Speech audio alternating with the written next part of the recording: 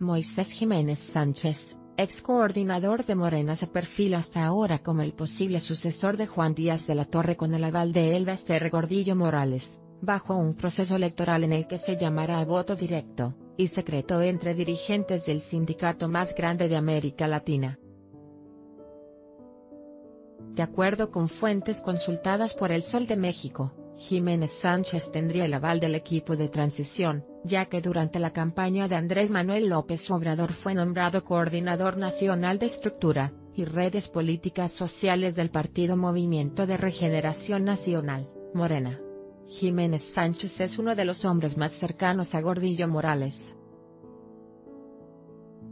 Ha sido representante estatal del CEN del de Guanajuato, consejero político estatal del PRI en Hidalgo y en Pachuca.